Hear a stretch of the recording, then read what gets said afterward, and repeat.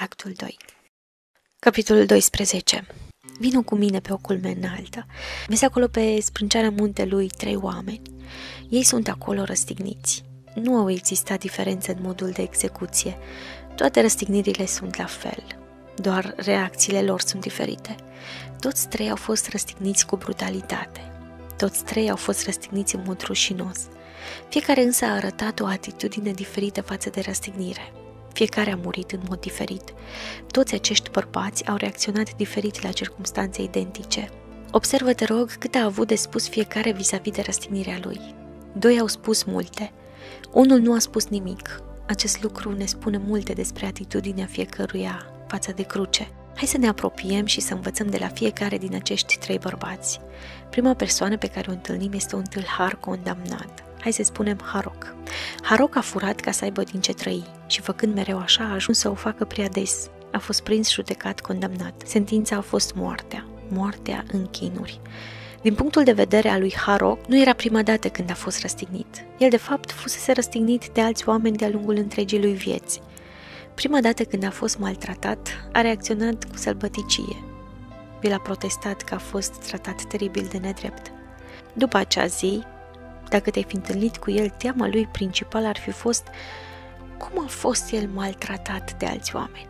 La un anume moment al vieții sale, se pare că răstignirile nedrepte veneau în viața lui cu o frecvență crescândă. În strânsoarea atitudinilor sale, Harok a devenit incapabil să vadă ceva ca fiind vina lui. Tot ce venea asupra lui negativ era ceva necinstit și niciodată din vina lui. Prima dată când a fost prins furând, reacția lui a fost predictibilă i-a blamat pe toți. Ai putea spune că Harok era autorul a ceea ce a devenit mai târziu punctul de vedere dominant al celor mai mulți oameni care sunt răstigniți. Să declare război verbal celor ce îl răstignesc, să protesteze pledând nevinovat, să trâmbițeze nedreptatea și să scoate în evidență minusculele inconsistențe ale adversarului. În ziua în care a fost răstignit, Harok a făcut chiar o scenă din asta. Pe măsură ce îi blama pe alții, el s-a asigurat să nu își asume nicio responsabilitate pentru nimic. Gândurile lui erau orientate numai spre cei responsabili de condiția lui. Făcând din asta ținta lui, Harok a ratat vindecarea, răscumpărarea și învierea. Alegerea lui nu a fost înțeleaptă. Tragic, nu-i așa, având restaurarea din răstignire atât de aproape. Vindecarea nu a fost doar aproape. Vindecarea avea un nume. Numele vindecării era Isus Hristos, în timp ce atârna acolo, Harok a blestemat pe Dumnezeu pentru răstignirea sa. De asemenea, a blamat pe oameni. Harok a batjocorit ambele posibilități, Dumnezeu și oamenii. Tu, de asemenea, ești răstignit ori de către Dumnezeu, ori de către oameni. Acestea sunt alegerile tale, nu sunt altele. Alege să blamezi pe oameni și situația ta va fi fără speranță. Alege-L pe Dumnezeu și ai găsit persoana corectă. Cu toate acestea, dacă îl blamezi pe el, situația ta rămâne fără speranță. Urmează oricare din aceste căi și vei intra în rândul incurabililor. Haroc avea încă o alegere posibilă. Doamne, nu Tu ești de vină. La fel, nici oamenii care m-au răstignit. Dar, Doamne, Tu mi-ai făcut aceasta pentru binele meu și pentru binele altora. Continuă, Doamne. Haroc nu a arătat deloc o atitudine izbăvitoare față de răstignire. Totuși, o astfel de atitudine este singura atitudine sigură pe care ar putea o avea cineva când atârnă pe o cruce. Harok a ratat adevăratul scop al răstignirii sale. Ciudat, nu? Căci dacă ratezi scopul răstignirii tale, tu de fapt ai ratat răstignirea. Așa a fost cu Harok. El și-a risipit răstignirea. El doar simplu a primit pedeapsa pentru faptele sale. Niciun om nu e răstignit cu adevărat până când nu acceptă crucificarea ca venind din mâna lui Dumnezeu. Altfel, aceasta contează doar ca un incident urât care a avut loc între oameni urâți. Ești un urmaș al lui Hristos. Așa e. Acelor ce urmează pe el, pe cel răstignit, li se întâmplă lucruri ciudate.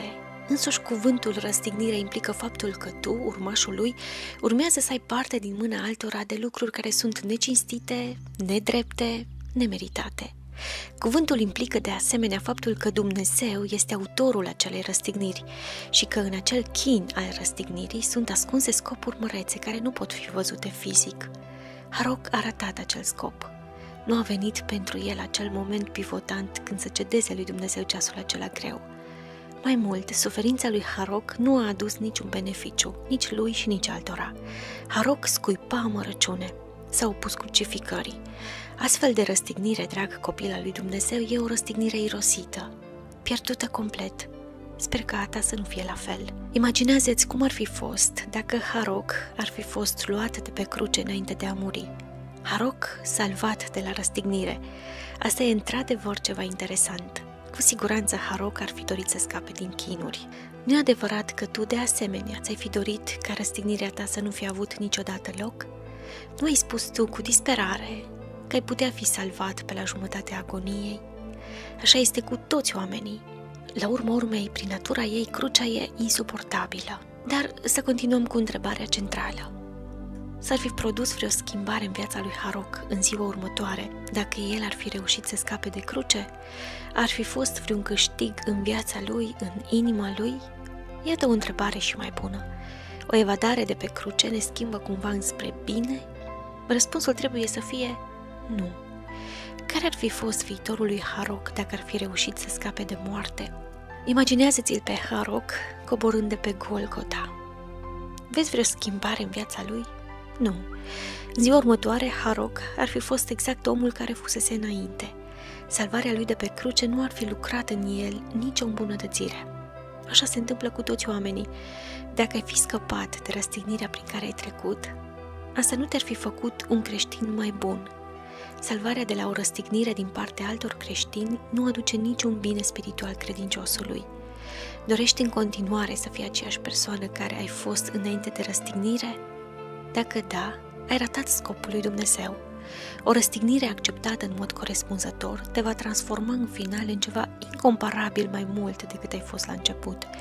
Însă atitudinea greșită față de răstignire te va lăsa la sfârșit cu mai puțin decât ai fost tu la început.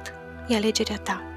Vei fi ori distrus din punct de vedere spiritual, ori vei ajunge să crești în Hristos dincolo de limitele anterioare.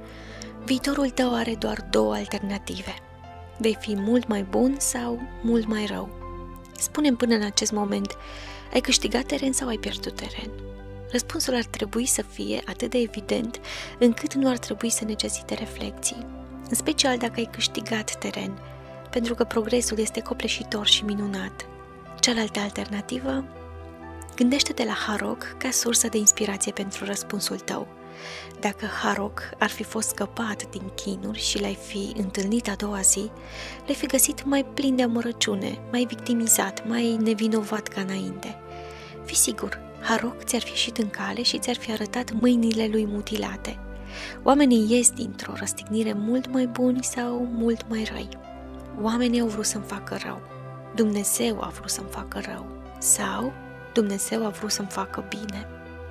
Singurul mod în care l-ar fi putut afecta pe Harok răstignirea sa a fost să-l facă mai rău. Vrei să te alături grupului său? Te întreb din nou până acum răstignirea te-a afectat înspre rău? Amintește-ți, o răstignire îți transformă viața creștină pentru totdeauna. Dacă nu ești sigur de răspuns, probabil ești afectat înspre rău. De ce? Pentru că atunci când o răstignire este primită la nivelul ei cel mai înalt, ea nu este văzută niciodată ca ceva negativ.